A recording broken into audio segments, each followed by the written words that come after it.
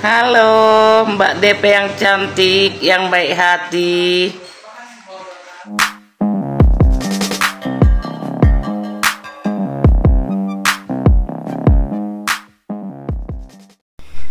Kali ini ada seorang ibu netizen yang memberikan pesan kepada Mbak DP ataupun Dewi Persik Seperti yang bagaimana kita ketahui jika Dewi Persik ini belum mencabut laporannya terhadap seorang netizen yang dia laporkan. Sampai saat ini ya belum dicabut laporannya. Nah jadi ibu netizen ini meminta Dewi Persik untuk memaafkan ibu tersebut. So bagaimana apa saja kata-kata yang diucapkan dari ibu netizen ini yang dikhususkan kepada Dewi Persik? Berikut inilah ulasannya.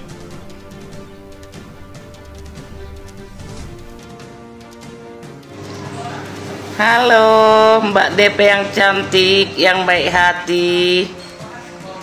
Salam kenal dari saya ya sayang ya. Mbak DP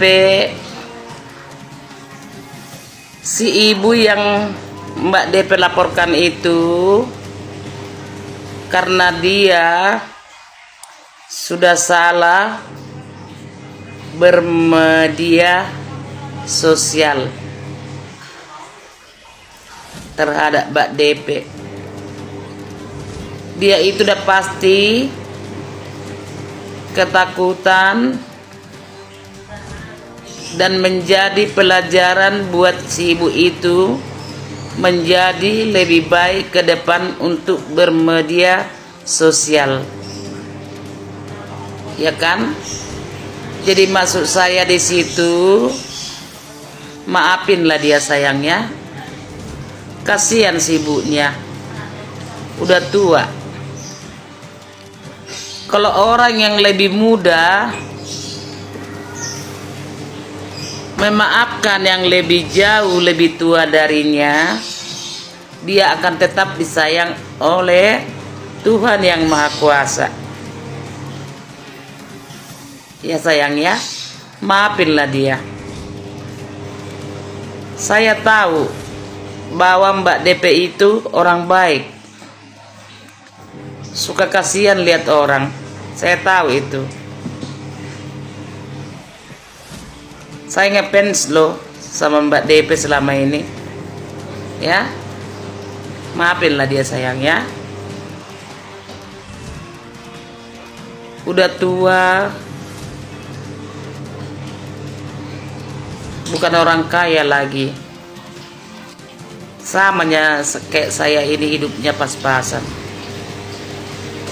Jadi maafin lah dia sayang ya. Orang yang mau memaafkan itu pasti disayang oleh Tuhan ya sayangnya yakinlah.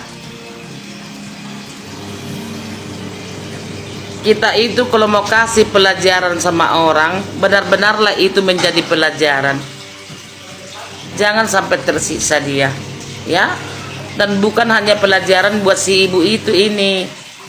Ini sudah bisa menjadi pelajaran buat banyak orang yang suka bermedia sosial.